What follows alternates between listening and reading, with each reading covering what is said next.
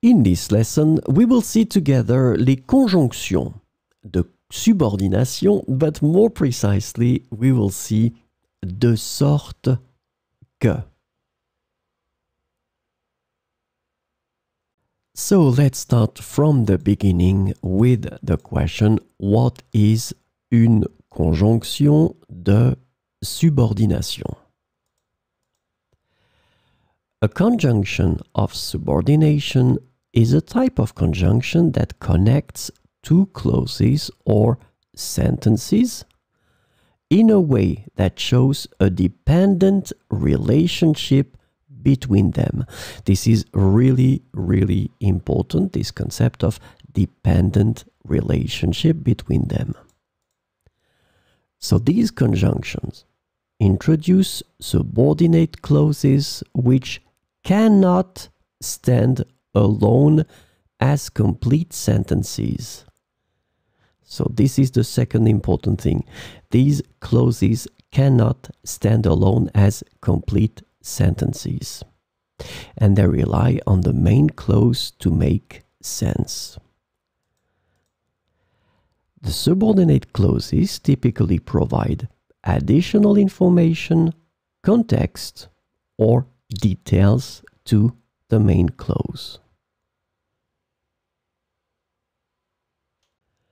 So, this lesson is about de sorte que.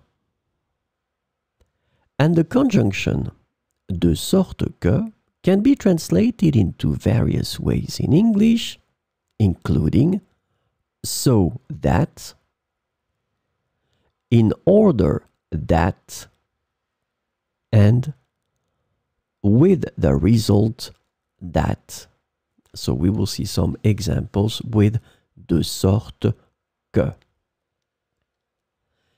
Il a travaillé dur de sorte que son projet soit prêt à temps.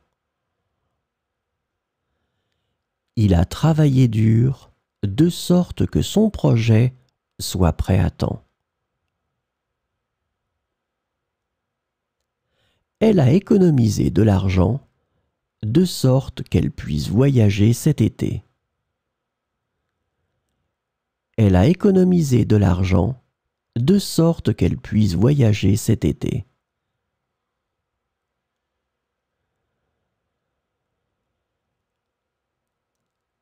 Nous avons réorganisé notre emploi du temps de sorte que nous puissions assister à la réunion nous avons réorganisé notre emploi du temps de sorte que nous puissions assister à la réunion.